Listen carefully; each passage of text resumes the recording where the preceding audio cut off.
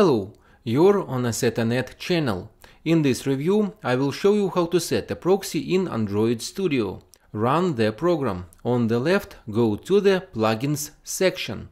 In the window that opens, click on the GA at the top. You need to select HTTP proxy settings. By default, proxy use is disabled. To set your proxy data, enable manual proxy configuration. Select the protocol type. Below, the fields setting the IP and port of your proxy become active. Set this data.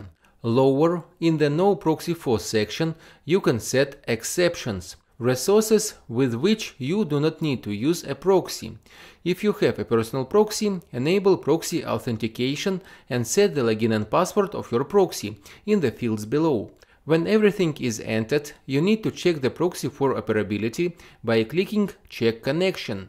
A window appears in which you need to specify the resources on which you need to check the proxy for operability. If the check result is successful, you will see a corresponding notification. This means that the proxy is working and you can use it. Then click OK. This completes the proxy setting in Android Studio. If you have any questions, write them in the comments. Click like, subscribe to the channel and good luck!